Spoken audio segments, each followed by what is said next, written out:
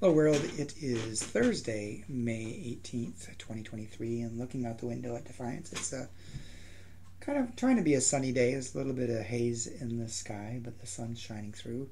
It's cool. It's kind of chilly, I think, in the upper 40s, and the high today is supposed to be 73, so it could be a pleasant day.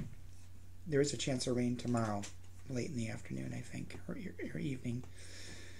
The devotion for today is entitled The Tale of Two Jesuses, written by Kaji Douša.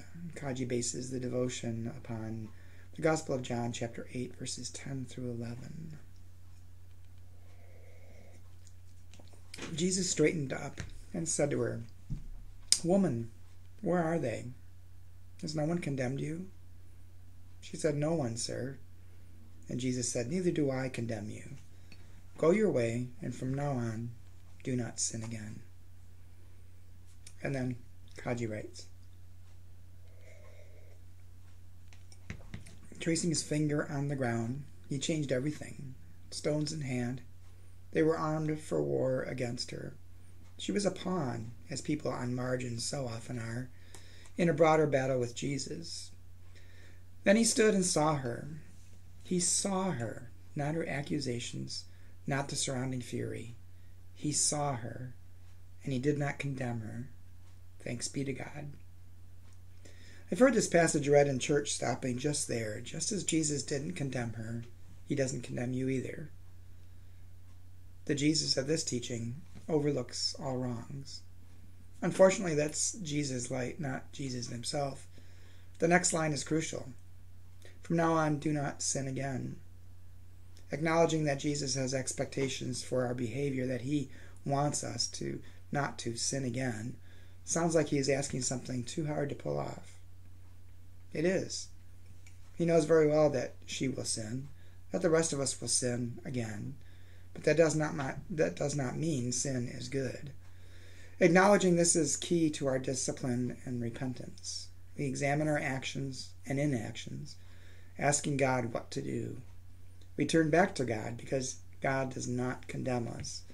And as we do, we have to know that God does not delight in or accept our sin either. Ironically, this is good news because the effects of our sin are, are things like the war of stones, the hypocrisy of accusation, the bullying of the marginalized. Thank God Jesus says no to such things. What Jesus do you know? The one who shames accusers into silence? Or the one who gives the order not to sin. The one true God embodies both and so much more.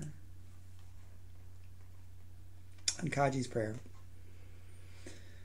God, we turn and know.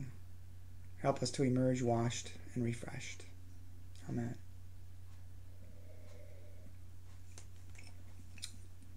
A couple things that come to mind in this scripture reading and the and the devotion is that um, behind all this is the love of God, always. Knowing, even knowing that, you know, we we sometimes sin in our action and our inaction.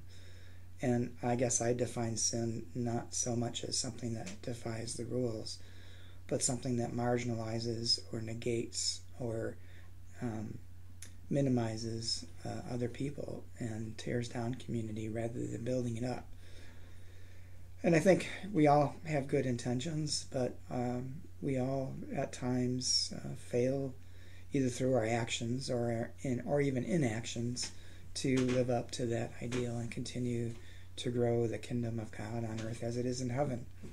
Um, we're human beings. We don't always make the best choices, but um, we continue to go because we know we're still loved regardless and we're not condemned and we continue to try to do what's right, knowing that even in those moments when we fail, and we will fail, um, we're still loved and encouraged to get back up, keep going, knowing we're not condemned, and knowing that we should try again to not sin, and then we should go and sin no more.